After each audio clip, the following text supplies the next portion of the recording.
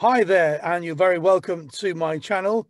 Uh, you're probably wondering why I'm wearing a hat in the booth, and that is because uh, due to the pandemic, there are no barber shops open, so my hair is uh, a disgrace and it's an absolute crime, hence why I'm hiding it. Um, speaking of crime, today I'm going to speak about voiceover theft and people stealing your voiceover. And you, you might think, how is that possible? Or why would they do that or how could they do that? Um, well, they can. It's very real. And uh, it has happened a lot in, in the voiceover world. Um, I'm going to tell you a story. It's not my story, but it's, it's a story from a very good friend of mine who's a, a voice actor. And, you know, when he was starting out, um, he was the victim of this. So on a lot of these formats, you'll get uh, messages from a potential client who is asking you for a sample. Now, they're not all going to do this, and some of them are absolutely fine. But um, this particular uh, client, potential client, asked uh, my friend for a sample um, for a radio advert, and he was quite new to the game of voiceover, and he said yes, of course, and he was very eager, and you know he did a couple of takes and did his best possible job, which he thought you know could get him the job, which was a sample audition. He thought. Um, so he spent the time recording, uh, editing and, and making it, polishing it up so it's the best possible voiceover it could be. And he submitted the uh, the audition sample in a downloadable MP3 format. Um, and he didn't hear back from the client at all. So after a couple of days, he messaged the client and he said, look, um, hi, I'm wondering, did I get the job? Uh, was my voiceover sufficient? And um, he finally got a response from the uh, potential client who said, look, I'm really sorry. We've chose someone else. Thank you for your time. And, uh, and basically we'll keep you in mind for further projects. And he left it at that and, you know, carried on. But then he said a couple of months later, he was driving in his car and he heard his voice on the radio and that was his voiceover. So basically, the potential client had stolen his voice, and which is completely illegal, and then you know sold it to somebody, and yeah, it was then used by by the radio. Of course, you know he the, the client was gone from the format. Then there was nothing he could do. So you you you know this. Not all the potential clients are going to be like this, but a lot of times, if somebody asks me for a sample, I will say yes, I will send you a sample uh, but it will not be in a downloadable form. And that's okay. I mean, basically, they should have already heard your demo first on these formats that um, they like your voice enough to, to consider you for, for an audition.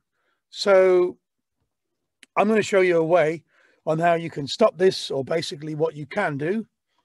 So just bear with me now. And okay. Here we go. So first I'm going to Audacity.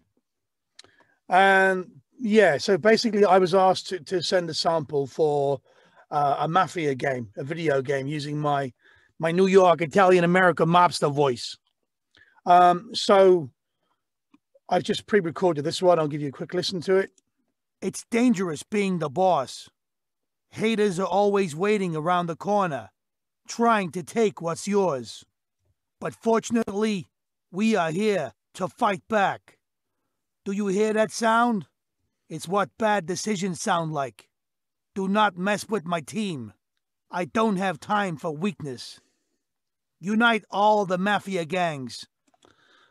Okay, so that basically is uh, it's my audition, and uh, yeah, I've done that to the best of my ability in my New York Italian American accent um, for this uh, this mafia game. So I'm just going to, I've already done it, so I'll just export this as an MP3. And here we go. I'm going to call it Mafia. It was called Mafia City, but I'm going to call it Mafia Mafia Game Sample. Okay, save it. There we go. Okay, right. So that that's saved right there. Um, now, next thing, if I, I could just send that to the client, and they might just be fine. But to cover myself, if somebody wants a sample, maybe if it's if it's one or two words or something, you know, I, I could possibly send them a downloadable downloadable sample, but I prefer not to. And to cover myself, this is what I'm going to do. So once again, bear with me. Now here we go. We're on SoundCloud. Uh, SoundCloud is a completely free website, free to sign up. Um, you can of course go pro, but I mean, as you can see there, I've I've done tons of uploads on here, and uh, I've only used sixty nine percent, and you know I probably could, yeah, delete some. So you know, SoundCloud is is the way to go. Um, I'm going to show you. So just basically, I'll choose my file. And yeah, so music, Mafia, Mafia game sample. There it is. Okay. Uh, you can also, if you want to make it look even more professional, is to put in um, a picture. So I'm just going to have a look for possibly an image from my um, one of my thumbnails. More boss, I think. Yeah, there we go. There we go. Okay. And then I will save that. And automatically it's giving me a link. So I'll just copy that. And what I will do then is to, uh, you know, I would go into the, the format where the client has asked me to provide a sample and I'll just send them this link. So I'll just paste it in here for you and see what it looks like. It's taking its time today, that's for sure. But what, what this is doing is this is covering me 100% because like I said, the client could be fine and they're not all going to be like, you know, the, um, see if that's working. Am I sharing the sound here? Dangerous being the boss. Haters are always waiting around the corner, trying to take what's yours. But fortunately, we are here to fight back. So that's um, that's my my sample, and that has covered me basically from any kind of voiceover theft. So the person that's you know that, that's asking for the sample, they can't download that. They'll have to try and do it illegally somehow. I don't know if they even can, possibly. But uh, another way is to use YouTube. I mean, YouTube more is, is, more for your demos though, because it takes longer to upload a, a sample to to YouTube. Um, of course, it is a re really good way though of linking your demos. Basically, you just create a thumbnail and add in your audio via MP4.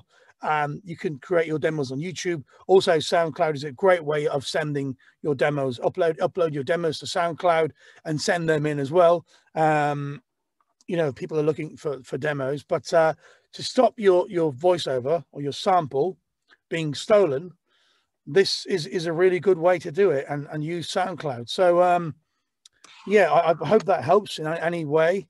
And even if we're not talking about voiceover theft uh, if you haven't heard of soundcloud it's a great way to to keep all your samples and your demos and everywhere else and to send them on to potential clients. And like i said not all clients hopefully most of them are going to try and steal your voiceover. There are a lot of genuine people out there, but just, you know, to cover yourself, if you do feel, well, this is a bit odd, somebody's asked me for 10 lines of a sample that looks like a whole advertisement or a whole part of a, a line or a piece of a, an audio drama or something. But um, yeah, just to be on the safe side, use SoundCloud. Uh, you see how to do it now.